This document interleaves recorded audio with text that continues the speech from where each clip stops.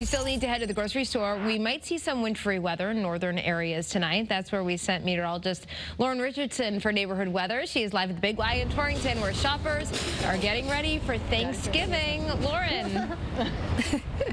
yeah, that is very true, Steph. And I am here with some shoppers. I'm here with Lynn from New Hartford. Hi, Lynn. Hi, nice Hi. to meet you. So nice to meet you as well, and both of you as well. And just tell me your names and, and where you live around here. My name is Jen, and we're from Winsted, and this is my daughter Emma. Awesome. All right, guys. So what's the weather like right now? We're seeing a little bit of Snow. snow. Snow, little snow.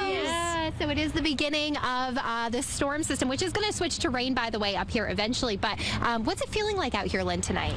It's very busy. This is my second trip out here today because there's always something you forget. Oh, I know. I know, right? Yeah. And, it, and it's chilly out, too. We've all got A our warm, bit, yep. warm outfits on. And what about you guys? You feel the chill in the air? Chilly. It's felt like snow since this morning. You said you actually got here because you were trying to get groceries before the storm happened, Yes, right? I wanted to get out and, and hit the roads before it got bad. Yeah. So Very smart, very smart. You And can see the little snowflakes on your hair. Yeah, yeah. Oh, it's just starting up. It's just starting up.